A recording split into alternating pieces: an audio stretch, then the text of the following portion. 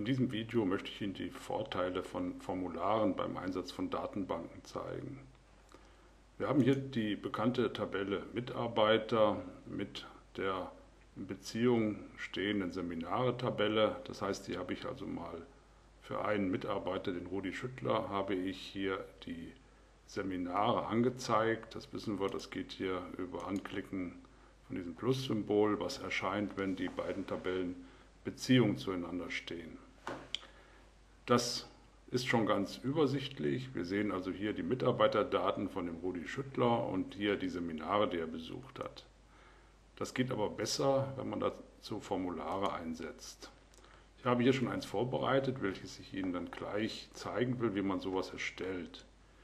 Die Mitarbeiterdaten haben wir hier in dem oberen Bereich. Das sieht also viel ordentlicher aus als hier diese Zeile. Und die Seminare, die der Rudi Schüttler besucht hat, die stehen hier in diesem Unterformular, in diesem Seminare-Unterformular. Und wenn da noch mehr drin stehen, dann können wir da auch drin blättern. Wir können auch hier bei den Formularen zum nächsten Datensatz gehen. Und da sehen wir dann, da sind automatisch die verknüpften Seminarthemen dann auch sofort für den anderen Mitarbeiter angezeigt. So etwas wollen wir also jetzt erstellen. Dazu schließe ich zunächst einmal dieses hier und bestätige, dass ich diese Entwurf, diesen Entwurf äh, speichern möchte. Klicke auf Ja und da sage ich nochmal Ja. Jetzt ist das also gespeichert. Wie legt man solche Formulare an? Ich schließe das hier mal, das war ja auch nur zum Zeigen, wie es ohne aussieht. Ich habe die Möglichkeit, solche Formulare mit einem Formularassistenten anzulegen. Den haben wir hier. Wenn ich darauf klicke, da kann ich auswählen, aus welcher Tabelle die Formulardaten kommen sollen. Und da habe ich hier die Tabelle Mitarbeiter gewählt und da kann ich mit Hilfe dieser Schaltflächen alle Felder übernehmen oder auch nur einzelne. Hier habe ich jetzt zum Beispiel die ID die laufende Nummer, die da verwendet wird, die habe ich auch mit dem Formular, die benötige ich aber nicht und die kann ich dann entsprechend mit dieser Schaltfläche zurückverlegen in die verfügbaren Felder. Hier rechts stehen die ausgewählten.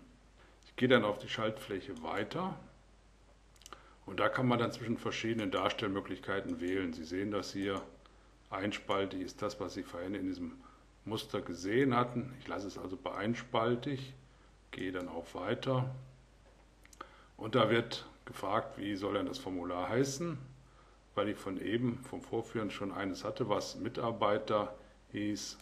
Da steht jetzt auch schon Mitarbeiter 1 hier und ich nenne das aber jetzt Mitarbeiter und Seminare.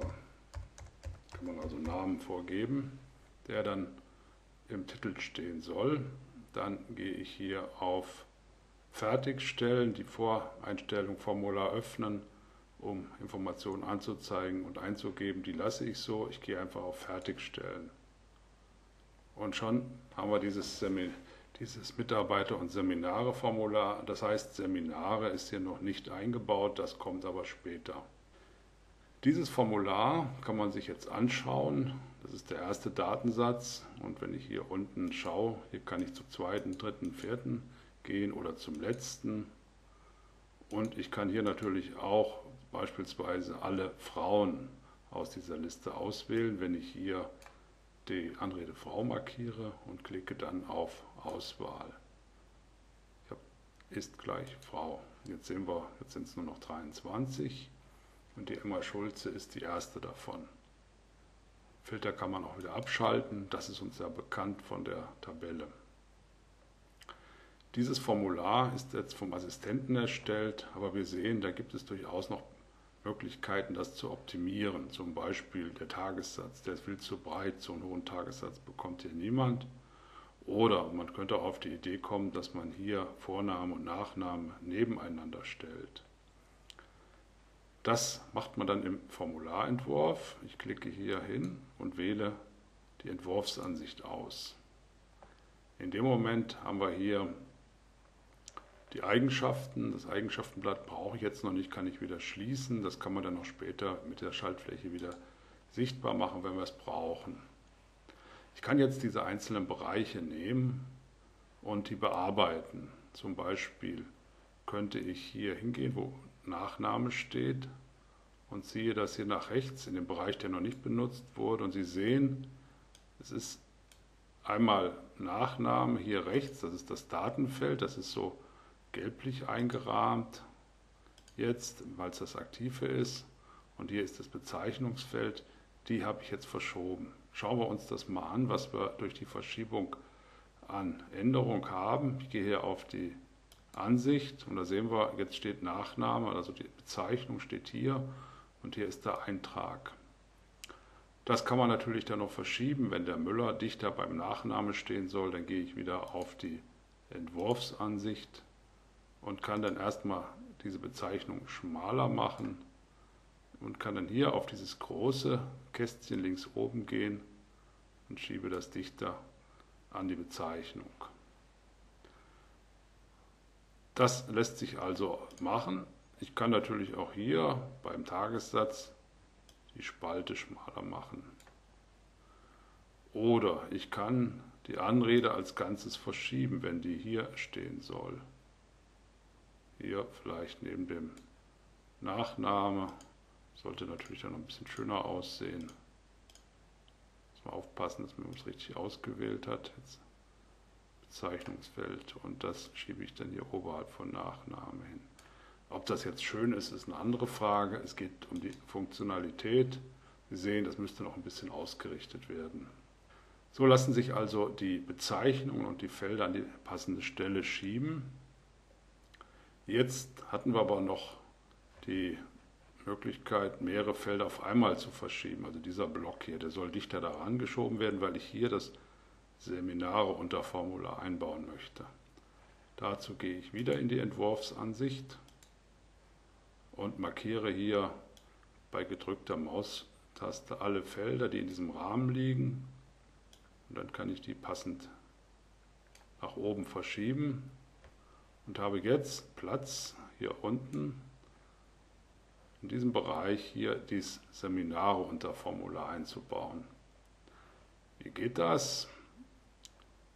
Es gibt hier oben verschiedene Steuerelemente. Dieses Unterformular, was ich da haben will, das ist ein Steuerelement. Kann man hier schauen. Hier bei diesem Element steht Unterformular und Unterbericht. Darauf klicke ich, weil das will ich auswählen. Und dann zeichne ich hier diesen Bereich ein.